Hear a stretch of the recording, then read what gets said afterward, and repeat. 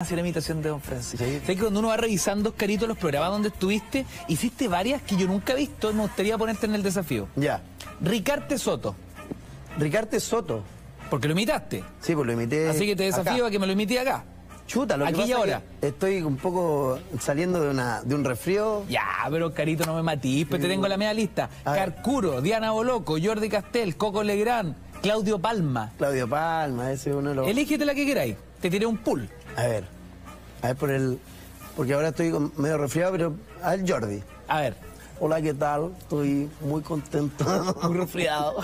resfriado. Estoy, pero tomadísimo. Te sale risa igual, güey. Oye, y Diana es más difícil porque uno como que... Sí, es que hay que poner así. Y hay como que tirarse para tomar el pico sour. Coco Legrand. Oye, eh, eh, eh, es que, weón, eh, esta tierra está. está craquelada, weón. Y, y, y- una cuestión más, y yo agarro la moto y me voy, weón. ¡No! ¡No! Pon atención, Oscarito. Quiero que veas el siguiente video. A ver. Póngale play, señor director. Hola Oscar, ¿cómo estáis? Soy Estefan, soy actor, soy Martín. Tú sabes. Hermano, quería mandarte un saludo muy especial ahí en Mentiras Verdaderas y decirte que haberte conocido realmente fue una inspiración para mí. Ver cómo te desenvuelves, cómo te has integrado a la vida, eh, cómo eres como creador, como imitador. Eh, es sorprendente y, y sinceramente contar con tu amistad para mí es demasiado lindo y especial. Eh, haber trabajado en tres comediantes y un bebé, haber creado juntos rutina, el concepto, verte cagado la risa. Sinceramente yo siento que gané un amigo y por eso quería enviarte este saludo de mucho amor, amistad, que te siga yendo increíble y que aquí estamos para cuando queráis lo que sea, para que sigamos haciendo cosas juntos. Y gracias, gracias por, por enseñarme tanto. De verdad me siento un privilegiado de haberte conocido. Así que te mando todo mi cariño, todos los mejores saludos, todas las bendiciones, perrito. Te pillamos, pues compadre. Oscar, te quiero mucho, hermano. Que te siga yendo tan bien. Ah, qué buena. Muy buena. ¿Qué momento esquizofrénico esto, ¿viste? Oye, sí. El eh, tío Emilio con con, eh, con Con Pancho Saavedra, Pancho Saavedra. en un solo en un solo cuadro. Oye, bueno, siempre te han cargado el mote que tú soy como el eh, un segundo Kramer, digamos, porque pues, tenés O muchas sea- capacidades de, de imitador. De Claro. hecho, Don Francis, me va a disculpar Estefan, que Estefan es el número uno, lo sabemos, Sí. pero yo creo que Don Francis es tuyo. O sea, si alguien creo- quiere imitar a Don Francis, es tuyo. Es mío. Sí. No, pero es que, ¿sabes lo que pasa? Que, Pongamos es que- las cosas en su lugar. Eh, y no quiero así como quedar como el correctito, pero que don Francisco tiene varias facetas.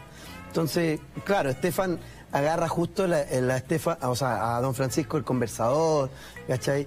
Yo agarro más al, al don Francisco del, de- del concurso, del teletón, ¿cachai? Entonces, pero... Ese Don Francis más histriónico. Exactamente, porque a mí me, me es más fácil por el tono de voz.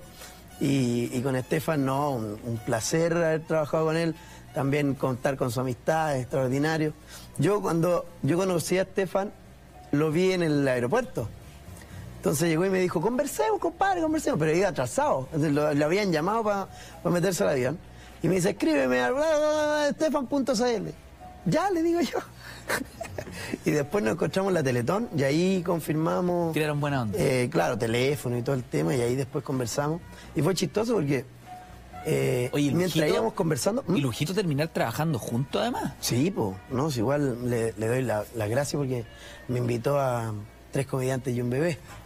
Y cuando estábamos conversando, ponte tú en su, pro- en su productora, y salían personajes, así igual como cuando ahora que salió.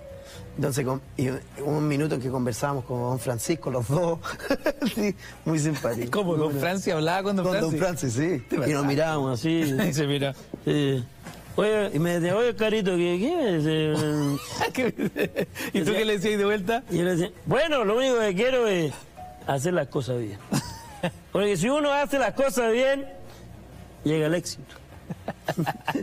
Eso es maravilloso, como que él, claro, sube, Claro. como hay una, una impostación así como magistral, y pues entra silencioso. Exactamente, sí. Y uno de los, de los caballitos de batallas que tengo y es uno de los personajes que más quiero. Al igual que Claudio Palma, que también nació de una casualidad. Yo trabajaba en, en los Andes, en BTV Valle Televisión. Comadre Lola. Eh, comadre Lola. Entonces, había una persona del- del- de producción que le- era muy futbolero y entonces veía los partidos del CDF. Entonces llegaba y ponte tú, nosotros teníamos programa los lunes, que se llamaba De Chico a Grande, y, el, y este loco llegaba, ponte tú, y narraba los partidos del Colo Colo, por ejemplo. Entonces yo le decía, uy, uy, uy, uy, uy, y así, así, po. Entonces me decía un día, pero vos sois, vos sois imitador, vos te le deberías imitar. Entonces le, le puse oreja también a Claudio Palma y también pues me salió como a la tercera, cuarta ya que, que lo escuché. po. A ver, cerramos los ojos, vamos a hacer un ejercicio. ¿Cómo sería un Claudio Palma 10 de 10 ¿Ya? cuando son las 22 con 25 minutos? Estamos en vivo en directo. Lo escuchamos. Dale, Sí, Oscar. señor, claro que sí, claro que sí. Se está cerrando el partido, partido bonito, claro. La tiene Arturo, Arturo. Porque si piensa puede ser terrible. Ya pues, don Caco, no me coma las galletas, ¿hasta cuándo? Excelente. Claro, pasan cosas ahí. Pasan cosas, Lo, claro. bueno, Palma arma como una, un Una universo, historia, una sí. historia de donde están sucediendo cosas al- alrededor. Y exactamente. Y Aldo, le habla a Aldo también de repente. Claro que. El Paco que